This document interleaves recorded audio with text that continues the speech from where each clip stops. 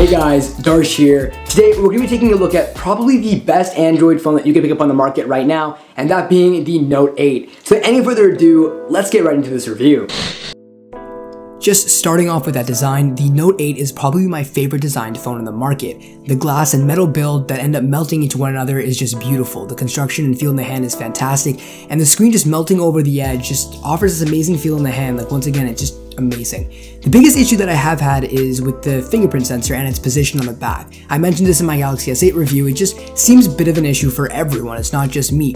I have relatively large hands and even I have to do a weird signed hand shuffle up just to reach it. Overall though, the design is fantastic and I have no other complaints. Now, moving into that display, the display really is fantastic. Everyone raves about this display. The Note 8 is known for having an amazing display and the color gamut is phenomenal with some deep blacks and really vibrant colors. I'm really happy to use this display and its screen off mode, like the small little information at glance that it gives you is really useful.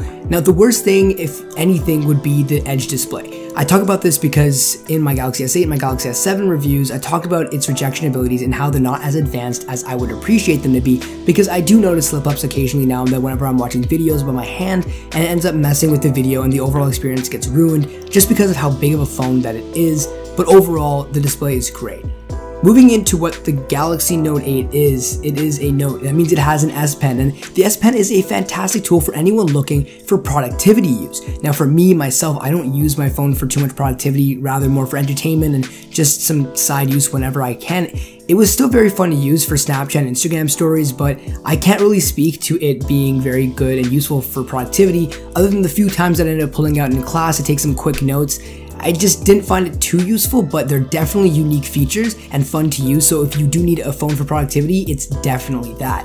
And since we're just discussing accessories to the device, the phone does come with a pair of AKG headphones that offer some pretty good sound quality, especially since they're actually included with the phone, unlike a lot of other phones and like the fact they don't include accessories whatsoever. Now another really awesome accessory and add-on to the phone would be a Dbrand skin that's been on this phone the entire video. Now I talk about Dbrand a lot and that's because they do offer me some of the best product that I've ever used. They offer scratch protection and with a phone that has a glass back, it helps with grip and fingerprint reduction. Now check out the link below to learn more and really help and support the channel. Now, lastly, probably the biggest thing to talk about with a phone is that camera. It's phenomenal and you can't really expect less from Samsung. They've been known for their superb camera quality and should be recognized for the amazing quality that they do offer with their smartphones. Especially here with the portrait mode offered with the second telephoto lens. Now if you don't know, the Samsung Galaxy Note 8, like the iPhone 7 Plus and 8 Plus and even the X now, offer a second telephoto lens, which allows you essentially to zoom in without any digital zooming. Now, this ends up adding together to make portrait mode, which essentially offers that blurred background experience that you tend to see with a DSLR camera with a really fast aperture. So in my opinion, the quality of portrait mode is pretty good. It's to that, like similar to that of the iPhone 7 Plus and 8 Plus and X, but it's not something that I would rave about in comparison to the Google Pixel or Google Pixel XL. Nevertheless, it is a very welcome addition to the phone and overall the camera is fantastic. And just touching onto performance, I just want to bring up the fact that performance on this phone is stellar all the way around. You are paying $1,000 for this phone after all, so you should be expecting some amazing quality and performance and battery life, so I have no issues there. Alright everybody, so just to conclude this video, just to wrap it all up, would I end up buying this phone? Personally, no.